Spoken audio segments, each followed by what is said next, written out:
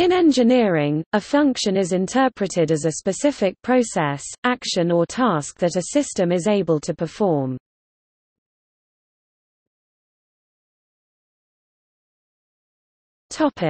In engineering design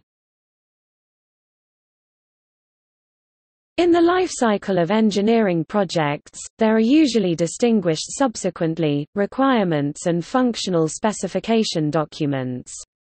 The requirements usually specifies the most important attributes of the requested system.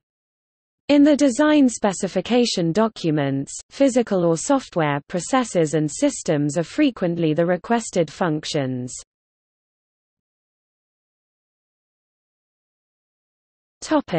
In products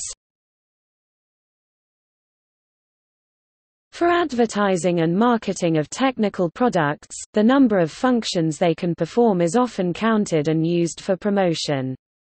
For example a calculator capable of the basic mathematical operations of addition, subtraction, multiplication, and division, would be called a four-function model, when other operations are added, for example for scientific, financial, or statistical calculations, advertisers speak of 57 scientific functions, etc. A wristwatch with stopwatch and timer facilities would similarly claim a specified number of functions.